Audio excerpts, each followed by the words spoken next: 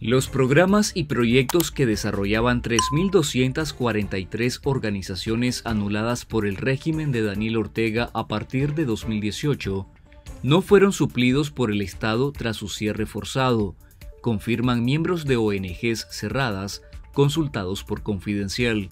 El 30% de las organizaciones eliminadas ejecutaban proyectos de desarrollo de tipo económico, social, cultural, comunitario, de derechos de las mujeres, de agua y saneamiento.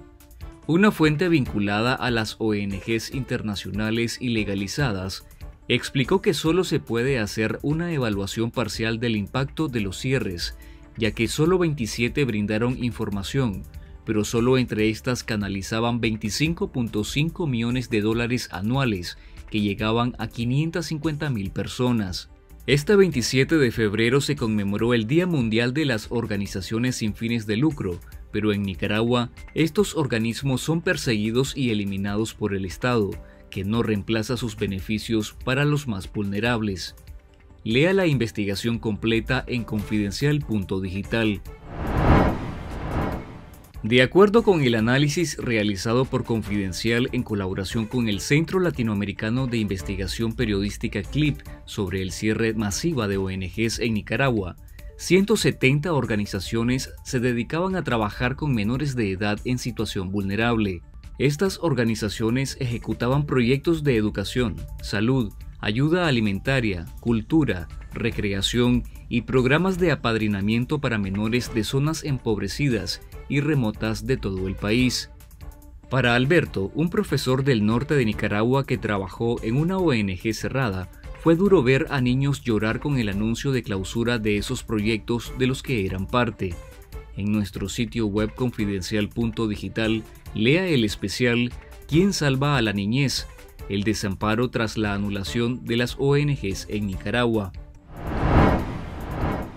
La Congregación de Hermanas Trapenses de Nicaragua anunció su salida del país de manera voluntaria, después que circularon rumores en redes sociales de su supuesta expulsión del país. Las religiosas que estaban asentadas en San Pedro del Lóbago en Chontales confirmaron este lunes 27 de febrero que salieron del país por falta de vocaciones, ansiedad de varias hermanas, entre otras razones que no mencionaron. La congregación informó que realizaron el traspaso del convento, monasterio y otros bienes que administraban a la diócesis de Chontales. Esta es la segunda orden de religiosas que abandona el país, aunque la primera fueron las misioneras de la caridad, que lo hicieron en 2022 después que el régimen nicaragüense clausurara su asociación.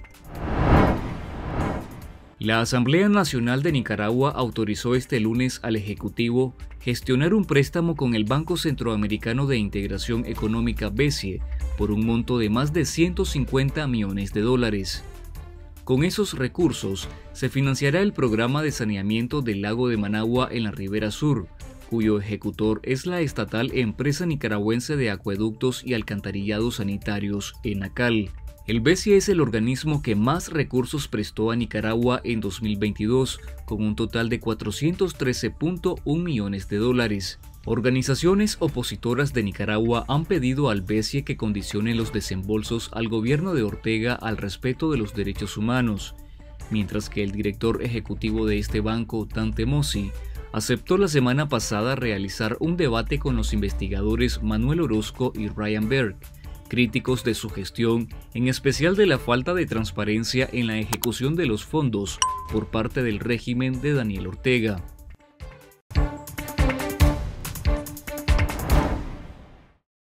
Gracias por ver este video para seguir derrotando la censura en Nicaragua.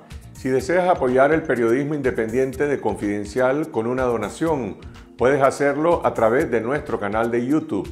Lo único que tienes que hacer es ir al chat de nuestras transmisiones en vivo y dar clic en el botón Super Chat. Así podrás agregar tu comentario junto a un donativo.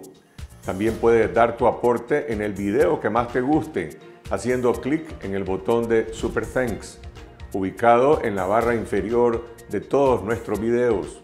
Con tu apoyo seguiremos investigando y contando la verdad para informar a nuestras audiencias.